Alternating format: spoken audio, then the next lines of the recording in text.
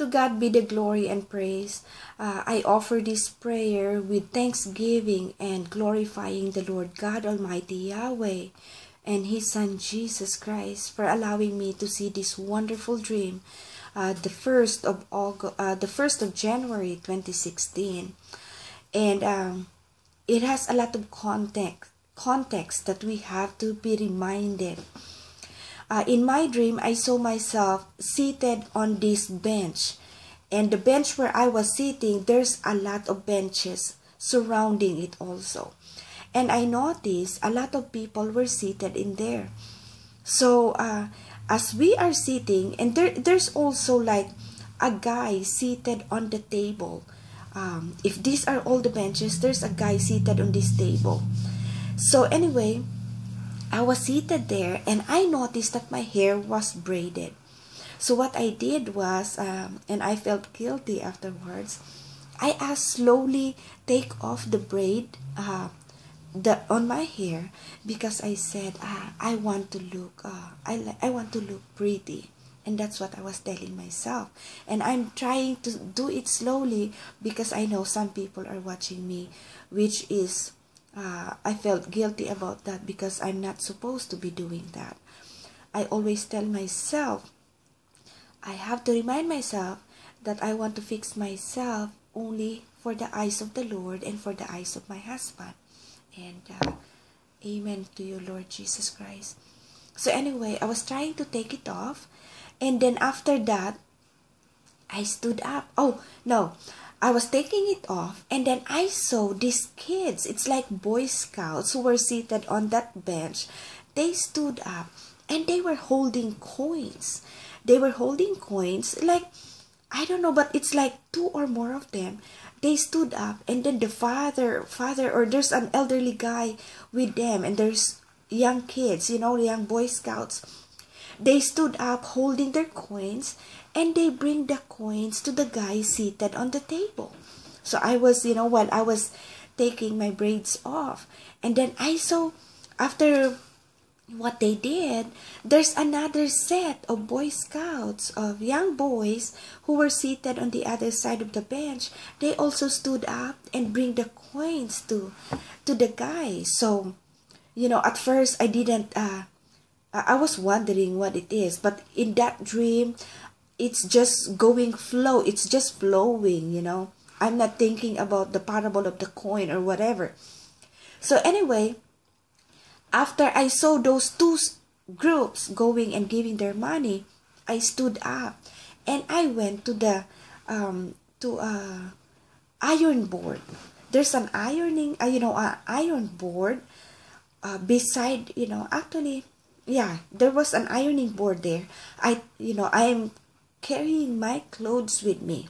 I don't know how it happened, but I was carrying my clothes with me. I put it on top of the ironing board. I get the iron and I iron it because I noticed there's wrinkles in my clothes. Uh, I saw the wrinkles. And what I noticed was, as I ironed the clothes like this, I saw like a spot going to my clothes and it widens up. If you see like this, there's a spot of white. It goes on my clothes and then it spread out like that so bright. It's unimaginable bright. It's brighter as the the light that you can see. Um, it's white, white, but it's different kinds of different kind of white you can see the spot going in there. It's white but it it widens up and it's so bright. It's so bright. So i was wondering while i was ironing it the area that i iron it brightens up. There's a spot going in down and the white is just like pearl pearl white so clear so nice.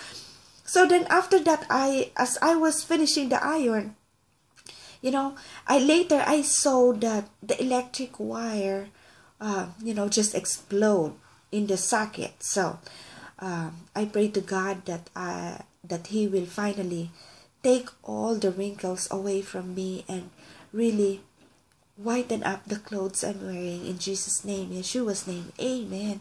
And i praise god for that. So I know it's not only intended for me, but it's for each and every one of us. So when I woke up, I wrote down my dream. I was just up. Uh, at first, I was curious.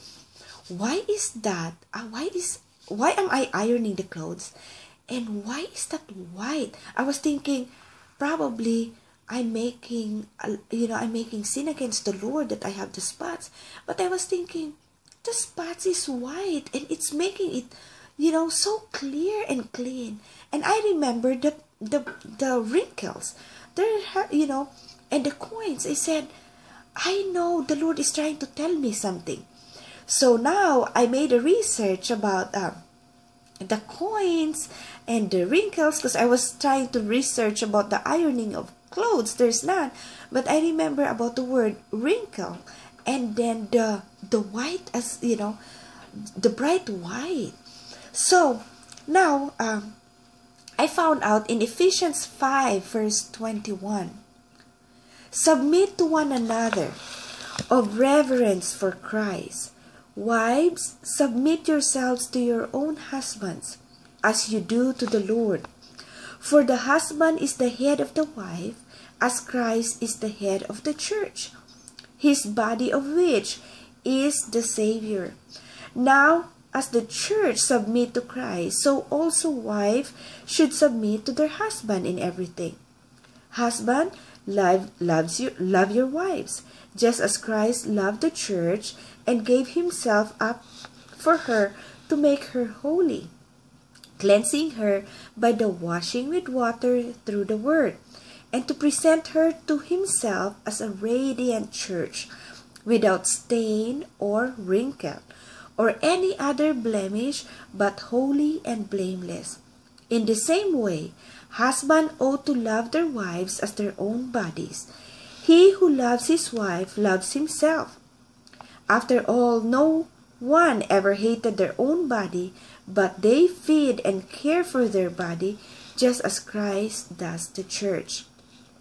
This actually reminded me when I was uh, trying to remove the, the braid on my hair because I said I try to, I want to look pretty because my husband always tells me, honey, I want you to look pretty for me. If you love the Lord, you, you have to love me the way you love the Lord and uh, I've been, you know, um, I, I just realized that uh, way, way, uh, several months ago or probably years ago. But uh, this past few months, I actually have a reflection that if we walk in righteousness with the Lord, we have to carry ourselves properly and godly. And um, We've been trying to do that. I know, brothers and sisters in Christ, you've been doing the same thing. But at the same time, you wives, I tried to be submissive to my husband. At first, it's really very hard to agree. But you know what? When the Lord is above everything, it will be easy. I tell you, it will be easy. All you have to do is just pray together as a couple and as a family. And most of all, as a couple. Whenever you have a decision to make, whenever you plan something, offer it to the Lord. And then, whenever you get mad about the behavior of one another, close your eyes and pray and say, Lord Jesus, you told me I need to be submissive to my husband and I need to understand him. Give me the strength and the understanding to accept and love Him. And whatever mistake He's doing, offer it to the Lord. If you notice that something is wrong in Him, offer it to the Lord. And I tell you, I'm one of the living witness to that. We prayed, I prayed so much about myself. You know, the things that I need to change in order to be uh, to be fully with follower of the Lord. And I prayed for my husband to change according to God's will. And honestly, you can see the literal and spiritual change. And that's what we're supposed to do, wives. We're not supposed to fight. Because you're not fighting against your husband. You're fighting against the spiritual um, schemes that are covering each and every one of us. But if we finally found the Lord, we rebuke those de- de- uh, demon schemes and they're not going to be with us because our body is fully with the Lord. We surrender ourselves to the Lord Jesus Christ, Yeshua.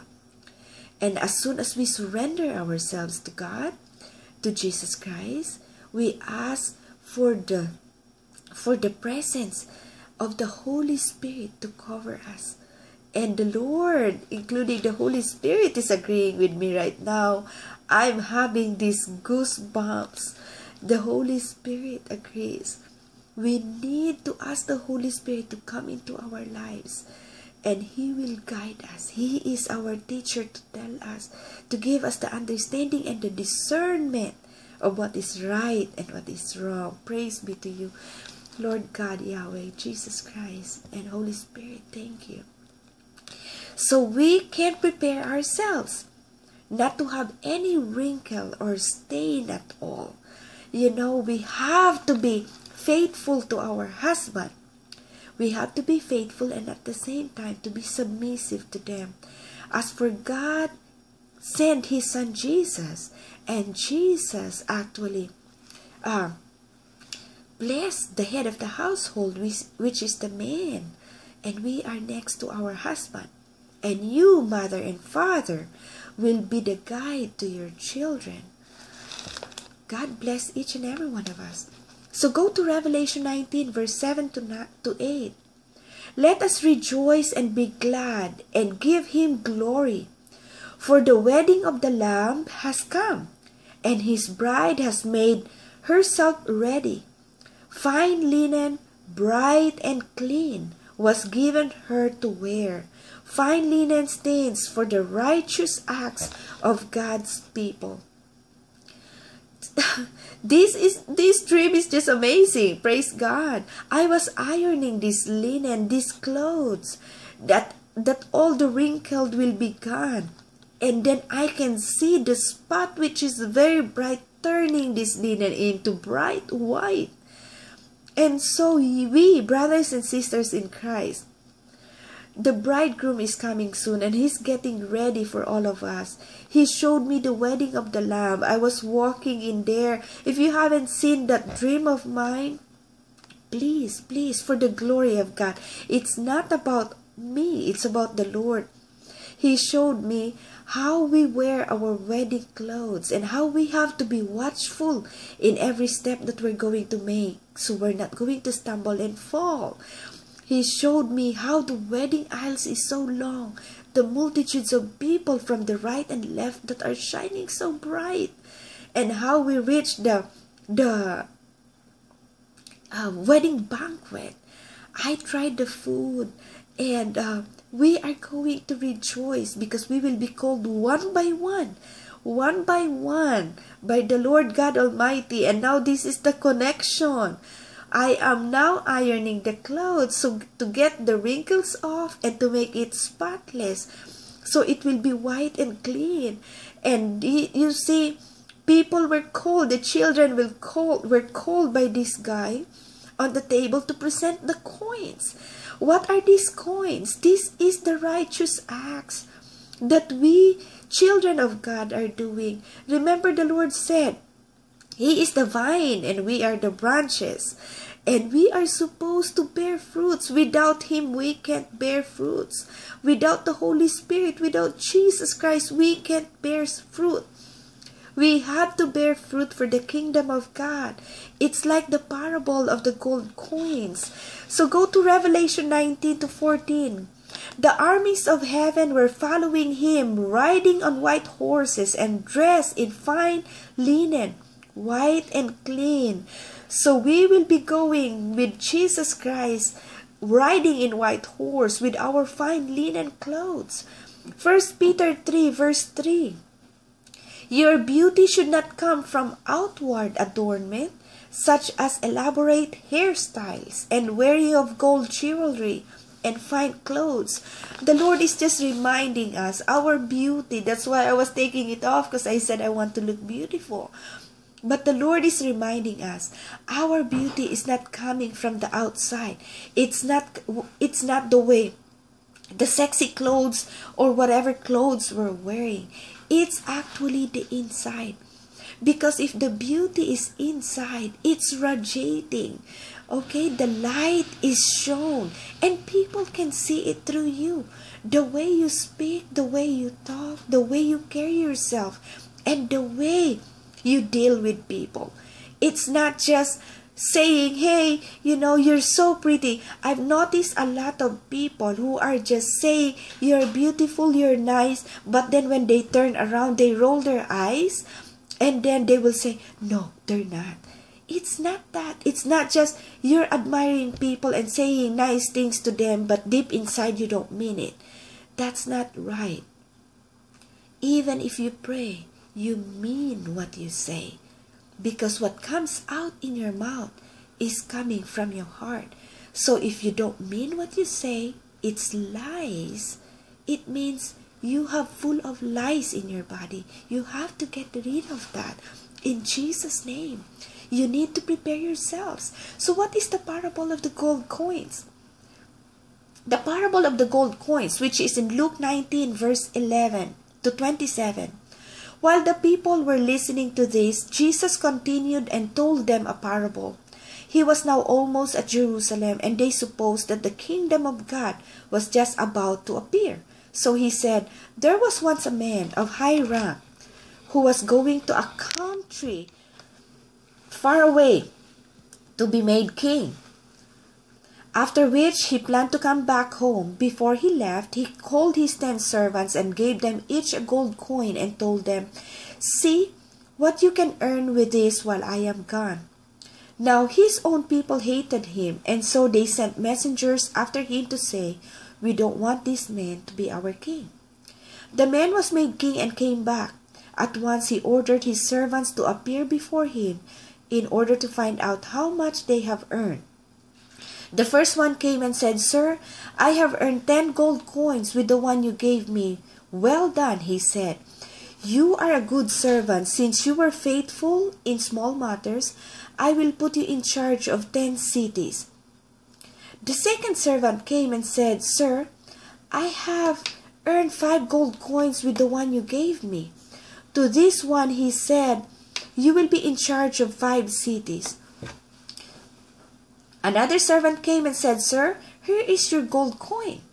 I kept it hidden in a handkerchief. I was afraid of you because you are a hard man. You take what is not yours and reap what you did not plant. He said to him, You bad servant, I will use your own words to condemn you. You know that I am a hard man, taking what is not mine and reaping what I have not planted. Well then, why didn't you put my money in the bank? Then I would have received it back with interest when I returned. Then he said to those who were standing there, Take the gold coin away from him and give it to the servant who has ten coins. But they said to him, Sir, he already has ten coins. I tell you, he replied, that to those who have something, even more will be given. But those who have nothing, even the little that they have, will be taken away from them. Now, as for those enemies of mine who did not want me to be their king, bring them here and kill them in my presence. This is the word of the Lord. Praise be to you, Yeshua, Jesus Christ. You know, people are wondering. I know uh, there's a maker who told me, keep your dream to yourself. The prophets and the apostles and a lot of people in the in the Bible has received dreams from the Lord. And uh, the Lord even spoke to us in Revelation that at the end times, young and old will have dreams and have visions. At first, I was wondering about the dreams that, the, that I've been seeing in my dreams after I've been seeing the Lord. Whenever He shows me dream, the following day it happened, even at my workplace, my family, and my personal life sometimes it happens a week, a month, and uh, I just realize He's telling me things. And if He's telling me things, I want to share it to all of you. Because this is not only for me, it's also for all of us. Just like the gold coins, the Lord entrusted me with the dreams to remind us and to warn us that the time is near while we can find Him. Repent with all your heart. Repent with all your heart. When you repent, don't look back. Don't look back. Look forward. Walk in righteousness with the Lord, so we will be found blameless. All the wrinkles will be gone, so we will be spotless in the eyes of God. The Lord entrusted us with His words Go and multiply. I'm saying this to all of you. Whatever the Lord entrusted you, go and multiply. You need to plant the seed to whoever listens. Let their ears open so they can hear. To whoever sees, let their eyes open so they can see. But if they refuse, they refuse. We are leaving them. We leave them in their own hands. The Lord knows. Okay, we need to plant the seed. We need to preach the word of God to whoever believes. Believe not on my words, but by the word of God. Jesus is true. He said, Heaven and earth shall pass away, but my word will never pass away. His word is alive and true. And it's applicable in our life. It's alive. It's telling us to repent. He gave us the coin, even one, two, five, ten coins that He entrusted us. Make it multiply plant the seed. He said we should be fishers of men. Go and use that coins to whoever you meet, even at the stores, the church, the school, the workplace. It doesn't matter. Go and multiply. The Lord be with you. He will watch over you. The Holy Spirit will be with you to speak through you. And don't worry, He will watch over you until the time is right. If we're meant to die with the sword, we will die with the sword. If we were meant to die with the captivity, we will be captives. But if we were meant to die on our sleep, to be called by the Lord God, we will die through that. The Lord knows. Only the Lord, only the Lord knows.